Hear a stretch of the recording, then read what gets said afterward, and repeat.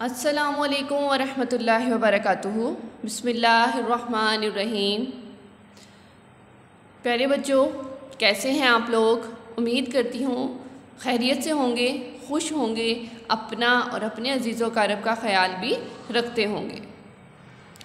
बच्चों, हमारा आज का पैगाम है, गिबत नहीं करनी। गिबत नहीं करनी। यानी किसी की कोई बुरी बात उसकी पीठ पीछे नहीं करनी। यानी उसकी गैर मौजूदगी में उसकी बुराई बयान नहीं करनी।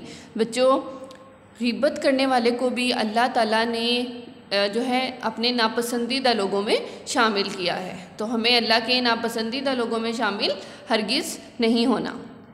सो तो बच्चों, हम लोगों को जो है, अहद करना चाहिए कि हम लोग आज से गिब्बत नहीं करेंगे। ठीक है? इरादा करते हैं कि गिब्बत नहीं करेंगे, यानी किसी की पीठ पीछे बुराई बयान नहीं करेंगे। अगर हमें किसी की कोई बुरी बात पता चलती भी है तो उसको जो है दूसरों तक नहीं फैलाएँगे। चहारम क्लास, आज हम पढ़ने वाले हैं उर्दू, सफ़ा नंबर छप्पन, सबक नंबर दस। सबक का नाम है कारगिल का शेर। अनवान है इस्तफहामी जुमले। स्टूडेंट्स हम लोग इस सबक की जो है, मश्क मुकम्मल कर चुके हैं। ये है हमारा आज एक सवाल इस्तफ़ामी जुमले। बच्चों, देखते हैं इस्तफ़ामी जुमले कैसे बनते हैं। ठीक है? इस्तफ़ाम। सवाल है हमारे पास, इस्तफ़ामी जुमले किसे कहते हैं? ठीक है? वो कौन से जुमले होते हैं जिन्हें हम इस्तफ़ामी जुमले कहेंगे?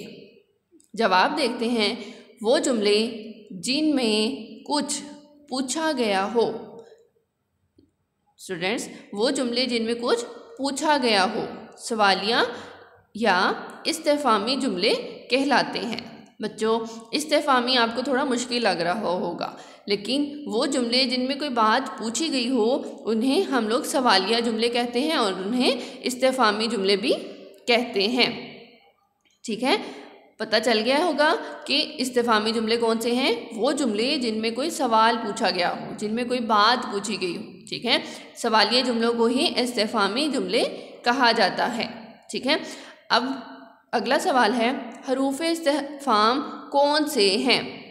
ठीक है बच्चों, हरूफ इस्तेफाम कौन से हैं? जब हमें हरूफ इस्तेफाम का पता होगा तो हमें आसानी होगी उस जुमले की पहचान करने में, यानी इस्तेफामिया जुमले की पहचान करने में। सवाल पूछने के लिए जो हरूफ इस्तेमाल होते हैं, इन्हें हरूफ इस्तेफ़ाम कहते हैं। बच्चों, जो सवाल पूछने के लिए हरूफ इस्तेमाल होते हैं, जैसा कि ऊपर आप लोगों ने सवाल पढ़ा, इस्तेफ़ामी जुमले किससे कहते हैं? तो बच्चों, इसमें किसे जो है, वो क्या है? इस्तेफ़ामी हरूफ है, ठीक है? नीचे है, कौन से हैं?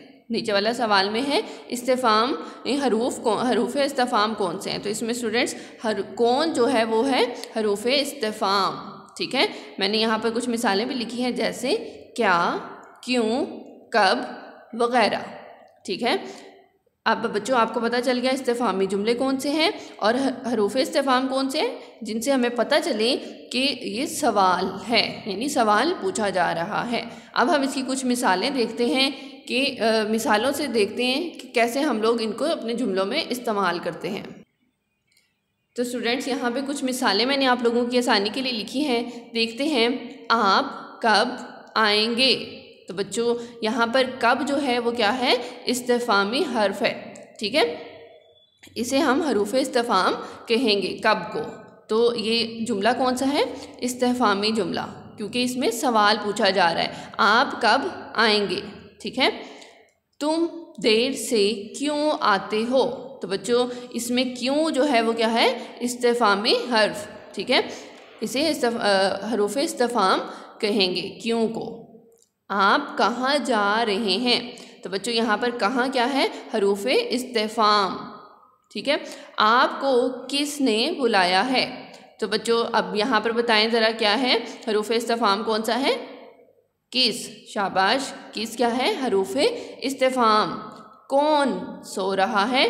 तो बच्चों, यहाँ पर कौन क्या है? हरूफ इस्तेफ़ाम।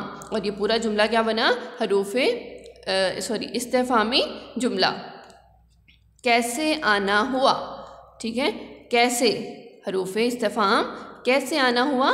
इस्तफ़ामी जुमला। क्या सूरज निकल आया? तो बच्चों, इसमें क्या जो है, वो क्या है? हरूफ इस्तफ़ाम। और ये पूरा जुमला क्या हुआ? इस्तफ़ामी जुमला। आपके पास कितनी किताबें हैं? तो बच्चों, इसमें कितनी जो है, वो क्या है? हरूफ इस्तफ़ाम। और ये पूरा जुमला क्या बना? आपके पास कितनी किताबें हैं? तो ये पूरा जुमला बच्चों, क्या हुआ? इस्तेफामी जुमला। तो बच्चों, ये था हमारा आज का सबक, जिसमें हमने इस्तफ़ामी जुमलों के बारे में सीखा, हरूफ इस्तफ़ाम क्या है, ये जाना, और मैंने आपको कुछ मिसालें दी। इसी तरह आप लोगों ने ख़ुद जो है वो कुछ मिसालें लिखनी हैं, ख़ुद से सवाल बनाने हैं। आप लोगों ने जो, आप लोग किसी से सवाल करते हैं, आपने देखना है कि आपके जुमले में कौन सा हरूफ था, कौन सा हरूफ ऐसा था, जो कि हरूफ इस्तफ़ामी था। तो बच्चों आप लोगों ने इसको बहुत अच्छी तरह से याद करना है, उसके बाद अपनी कॉपी पर खूबसूरत लिखाई में लिखना है। उम्मीद है कि समझ आई होगी। आपने इसकी बार बार प्रैक्टिस भी करनी है। और मदर्स से मेरी रिक्वेस्ट है कि बच्चों को पहले अच्छी तरह लेसन याद करवाया करें, फिर सुना करें, फिर उसके बाद जो है नोटबुक पर खूबसूरत राइटिंग में लिखवाया करें। असलकम वरहमल वर्का